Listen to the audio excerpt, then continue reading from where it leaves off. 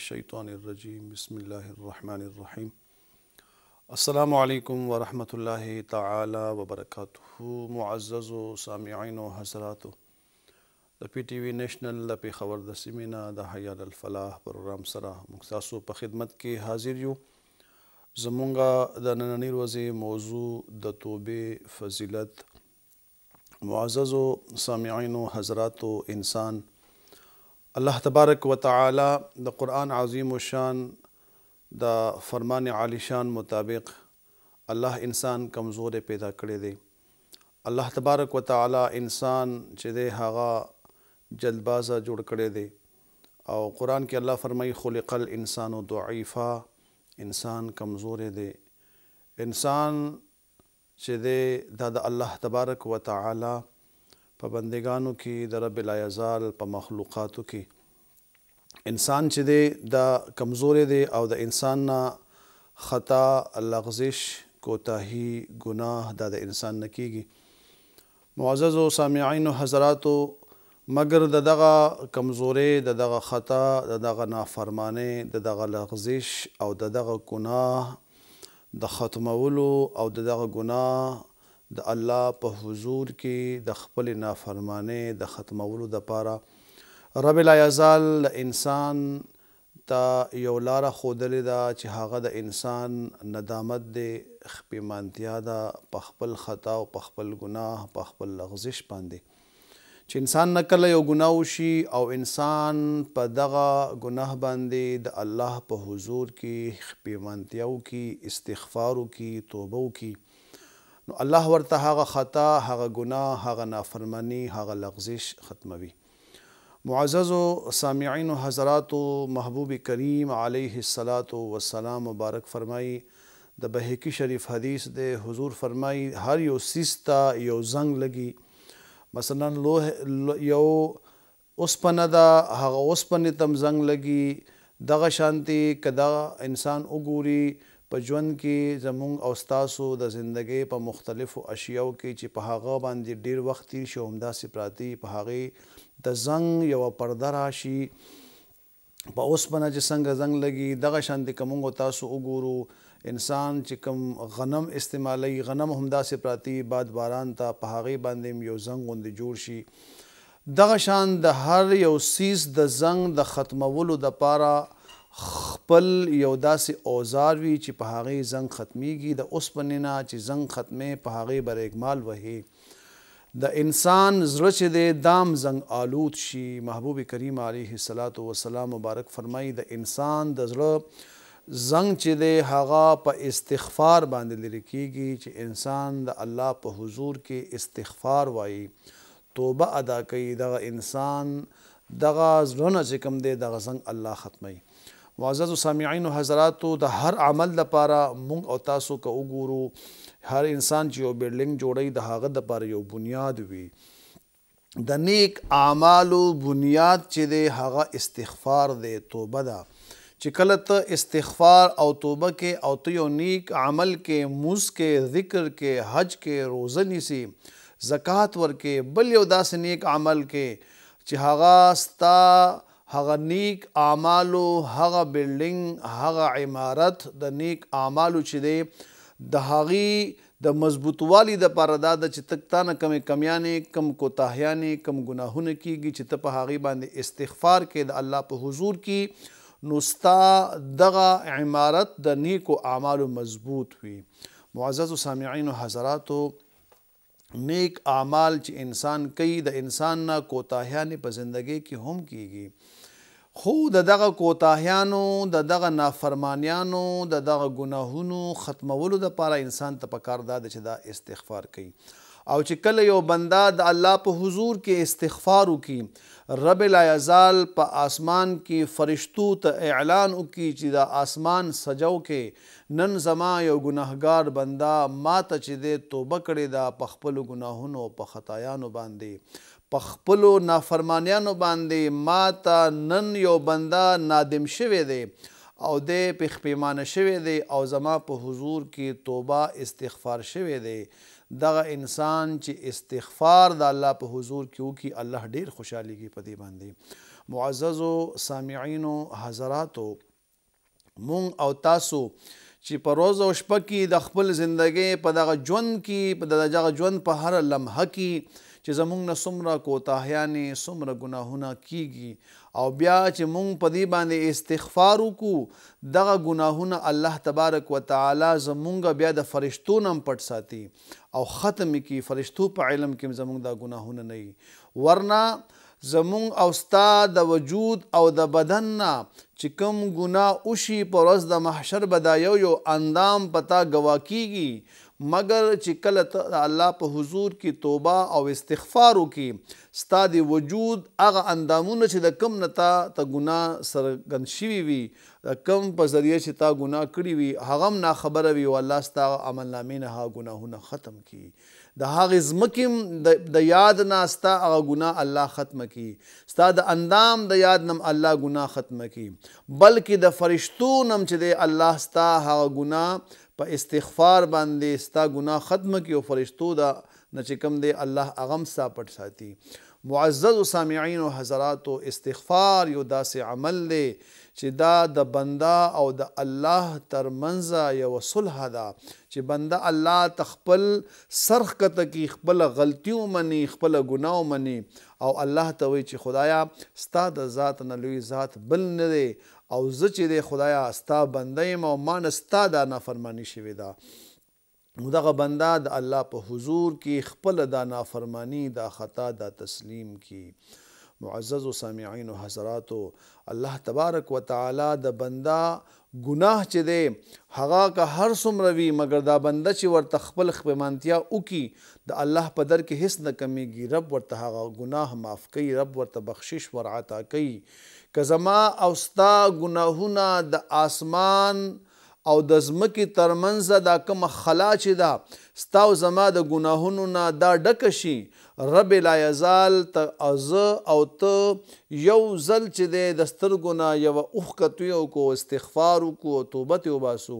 د رب ذات چې دی هغه زما او تا ته د ځمکې او د آسمان د خلا تر منځ زما او ستا د ګناهونو نه ډکه دغه خلا دا ټول ګناهونه الله معاف کړي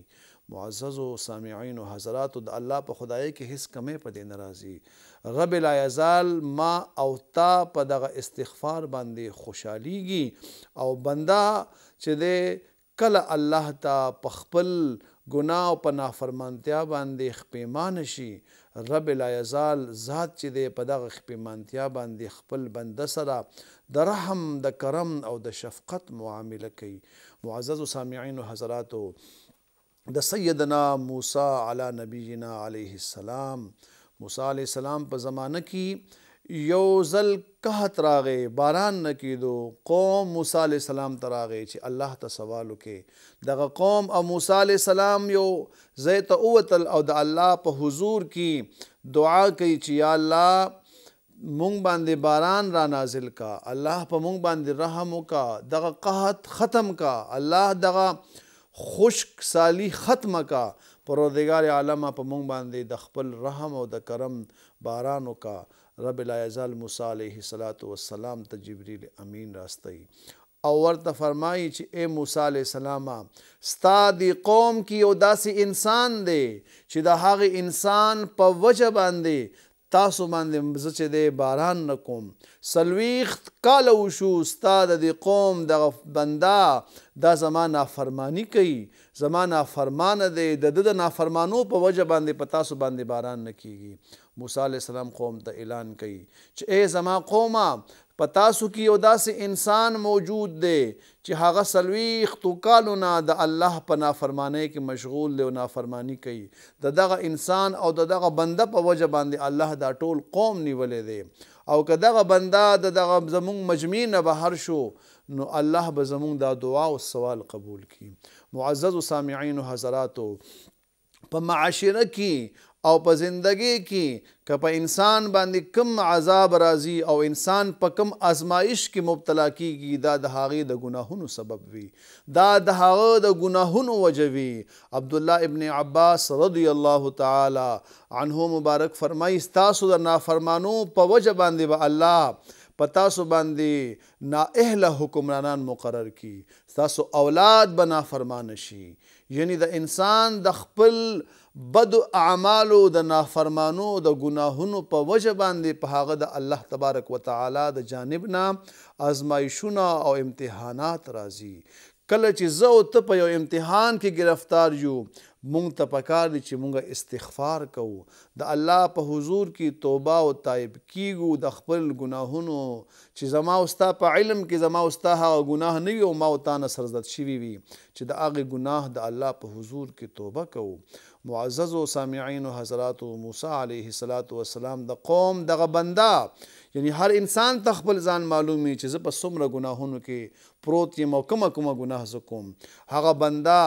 چې څلوېښت کاله یې د الله نافرماني کړې وه هغه پوه شو چې دا زما په وجه الله په دغه قوم باندې چې دی دا باران نه کوي. دی د الله ځان سره په زړه کې سر یې ښکته کړو او الله ته په زړه کې جاري چې یا الله که زه د دغه خپل قوم د دغه مجمع نه بهر وزم تمام خلکو ته شرمیږم رسوا کیږم الله زما حیا وساتي مولا زه په خپل نافرمانه او په خپل دغه ګناهونو باندې او ستا په دغه نافرمانو باندې خدایا تا نه معافي غواړم به الله په حضور کې لګیا دی خپل ځان نادم او خپېمانتیا لګیا دی کوي دغه بنده چې دا موسی علیه صلات وسلام بیا اعلان کوي چې هغه بنده اوځي او که نه چې د چا په وجه الله په دغه قوم باندې امتحان راوستی دی دغه بنده بیا الله ته ځان له جاړي او په زړه کې جړا کوي چې یا الله که دې خلکو ته زه په نخه شم تمام زندګي به چې کوم دی زه رسوا یم دې خلکو ته پروردګار عالمه څلوېښت کاله مې ستا نافرماني کړې ده، څلوېښت کاله تا چې دی